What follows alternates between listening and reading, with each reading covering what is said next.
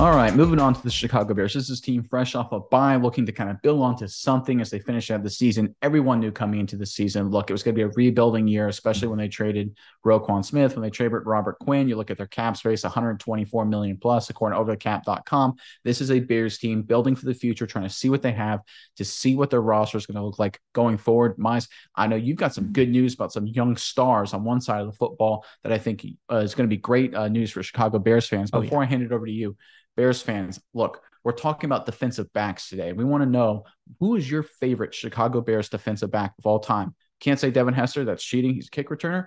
But there's a lot of great guys. Of course, Peanut Tillman. There's you know there's many others. I think Nathan Vasher. I know he was one of my favorites. Watching him for a number of years, I thought he was a pick six waiting to happen. But give us your favorite Bears defensive back in the comment section below. But Miles, give us the latest out of Chicago. Yeah, Nick, there's a lot of good injury news on the horizon for the Chicago Bears. A lot of young stars are getting a little bit healthier, uh, mainly talking about uh, young safety. Uh, Kyler or safety Jaquan Brisker and corner Kyler Gordon have cleared the concussion protocol. So that is very, very good news.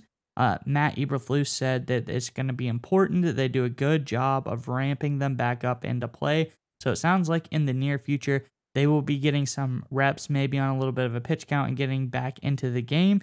And also, Nick, uh, running back Khalil Herbert is set to make a return next week for the Bears. He obviously had a really solid start to the season. He put up a couple hundred yard games and he looked like a really nice player.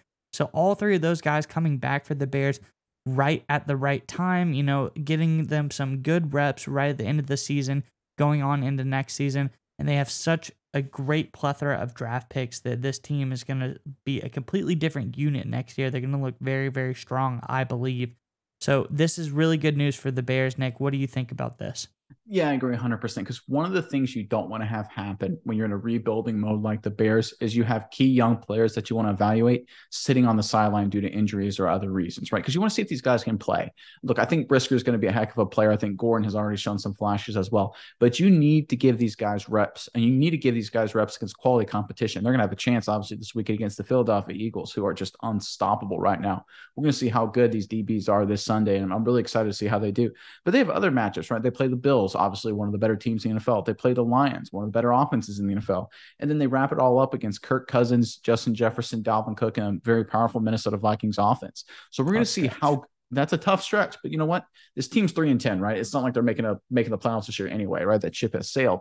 At this point, you get a chance to evaluate how good these young guys actually are. Get them, you know, throw them in the fire a little bit, see how they react, and that's what I really want to see. Because one of the things I loved about Brisker specifically coming out of college, coming out of Penn State, is this dude was a competitor. He was a gamer. He always found a way to make big plays in big moments always stepped up to his level of competition. That's why I loved it when the Bears picked him up. I thought it was one of the better picks in the draft. I'm really excited to see what he does over the final month or so of the season against that top flight competition. I'm expecting him to step up big time. Yeah, Nick, and they need to because thinking about the DBs, this is a murderer's row of murderer's row of receivers they're going to be going up against. You got Philly, you got AJ Brown, you got DeVonta Smith, both stud receivers the Bills, you got Stefon Diggs, who I personally think is probably like the best receiver in the NFL right now, if not one of the best. Uh, Detroit Lions got Amon-Ra St. Brown, the Sun God.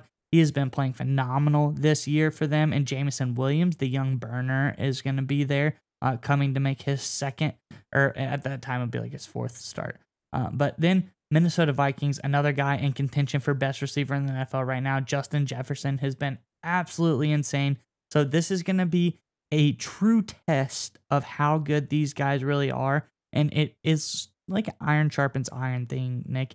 You like your best to go up against their best. And I think this will be really good for the guys to develop to go against some of these really top tier receivers, hone their skills, and get a feel for what playing against the best of the best NFL receivers is all about. Yeah, agree. And one more point I want to see here is I think what you're seeing a lot here from Eberflus and Poles down the stretch from the GM position, they want to see if these young guys can play so that way they can decide what to do with their high draft pick. For example, they're likely going to end up at number two, in my opinion. Do they go after Will Anderson, right? Who's obviously a phenomenal pass rushing talent Alabama. But if they have issues in the secondary, let's say Brisker and Gordon can't step up, I don't think that is the issue. But if it does happen, maybe the Bears are more likely to trade back because then they say, hey, we got more holes than we think we need to fill. So these next four games are going to be huge for the Bears to make those kind of decisions. Do they get Will Anderson or a guy like that in the top three of the draft this coming season? or this coming off season, or do they have to trade back because they have more holes to fill? Because it turns out Gordon and Brisker and some of these other guys aren't quite up to snuff. These next four games are going to answer that question for the Bears, and it's going to be huge for their future.